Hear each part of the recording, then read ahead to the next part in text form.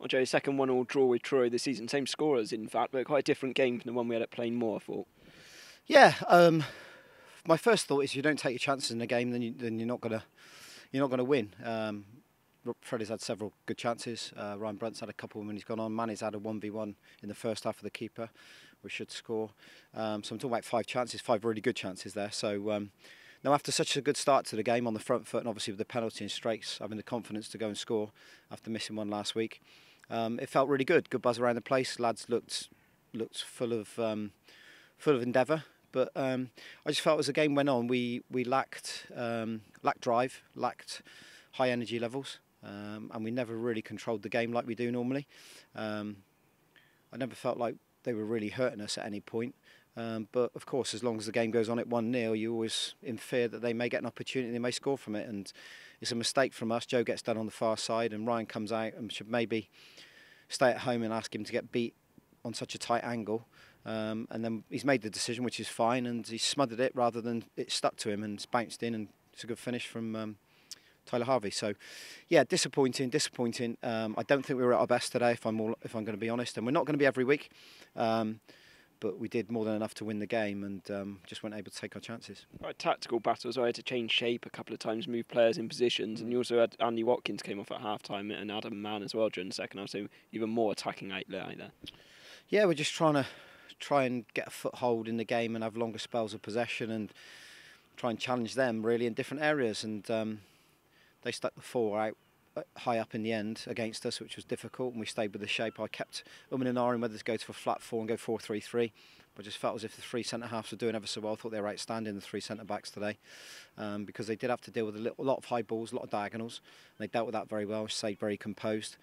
Um, yeah, and it was the two systems cancelled each other out. I think for the majority of the game, it was a 3-4-1-2 from both sides, and it was like for like. And sometimes when you have two systems like that, it really does. The two wing backs almost nullify each other. The three central midfielders do, and the three centre backs were looking after the two strikers each end. So um, it was it was a funny game, if I'm being honest. It never, I never felt like we gave the fans enough to really get behind us today.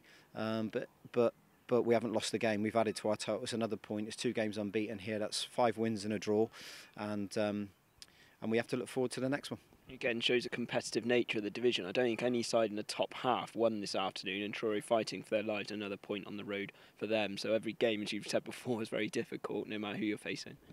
Yeah, credit credit to Truro. They, what they are, they're no disrespect to them, ever so hard working team. They work ever so hard, and um, Lee's got them all organised with Meeks, and um, they want to they want to come to places like this, of course, and they want to play as best as they possibly can. Every player does, and I've said it before. People come to Twerton, they make it difficult for us they want to put on a show, and um, they've dug in and stay, stayed in the game. I guess so that's what they'll be happy with. I said at half time they'll be happy to come in and stay in the game at one 0 because, like I said, the longer it goes on, a mistake or a set piece, something could cost us, and that's what's happened today. One one moment has, has cost us a win. We haven't lost the game. Um, it's no big disaster.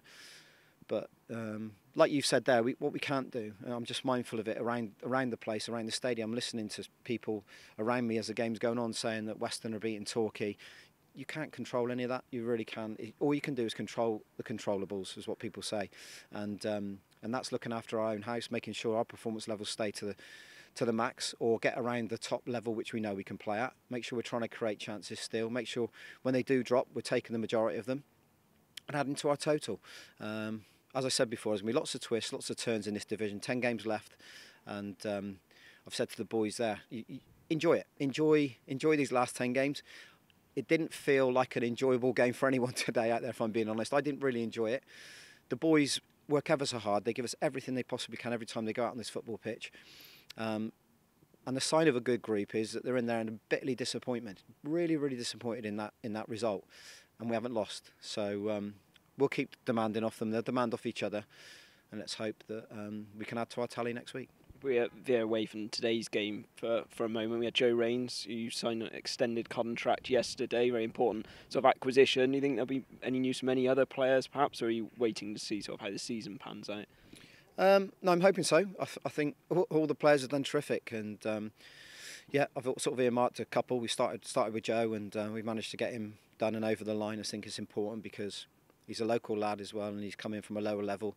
He's had to prove his worth.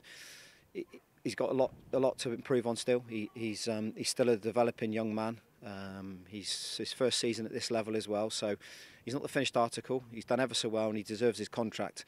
But now it's time for him to work ever so hard and, and a little bit more hard, uh, uh, if you like, and, and try and and try and improve on this really solid start that he's had at this level for Bath City Football Club, and that's why he's got his contract. Is, is for his contract to be able to sustain performance levels and get better through that period, and try and get to a level where, if he's hungry and he wants to push on, then that's great. But hopefully it'll be with Bath City, and hopefully end of the season he's in a successful team, like all the other boys. There's there's a few others that we'll have to start talking to as well, um, and we want to, but um, that we'll look after that in house, and then in due course you'll see the ones that we're trying to get tied up because they're all putting ourselves in a position where they we want to keep them at the football club.